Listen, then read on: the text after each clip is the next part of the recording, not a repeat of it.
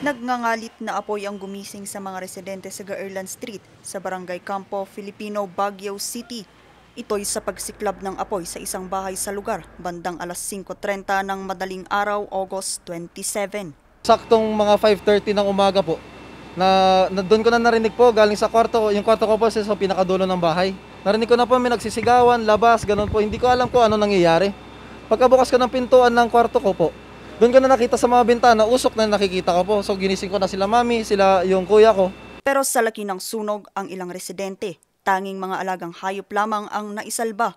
Lahat po, lahat ng gamit po. Mga sila mami po, yung mga collection niya ng mga bag niya po. Yung kuya ko, collection niya ng mga cards, mga personal belongings. Ako, mga damit, mga sapatos na collection ko po. Opo. Yung mga yung mga alaga lang po namin, tatlo lang po naiwan sa loob na hindi na namin po nahanap. Yun na po sinugod-sugod po namin pa loob po. Nagbasa ng tuwalya, binalot sa mukha para lang makakapasok po. Pero masyadong nang mainit po, kinailangan na namin lumabas po talaga po.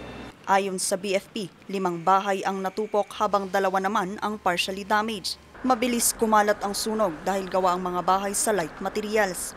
meron tayong dumating na naka ah, motorcycle doon sa station ng 557. At the same time, meron tayong call ng 558.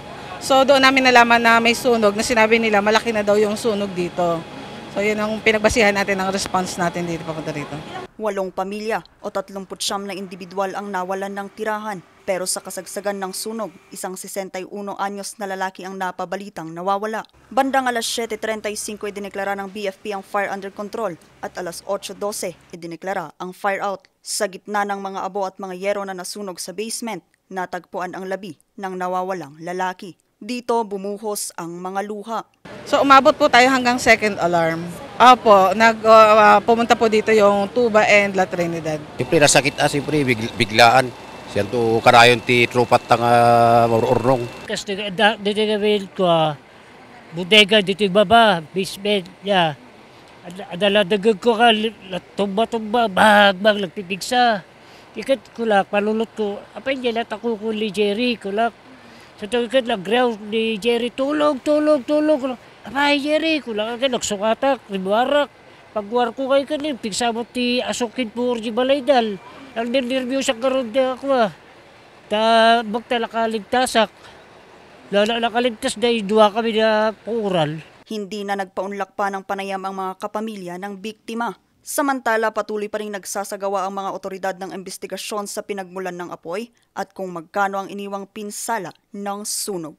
Sa isang iglap, hindi lamang bahay kundi pati na rin ang mga alaala at mga pangarap ng bawat pamilyang nakatira sa bahay na ito ang natupok sa sunog na nagsimula pasado alas 5.40 ng madaling araw kanina. Vanessa Bugtong para sa Luzon Headlines.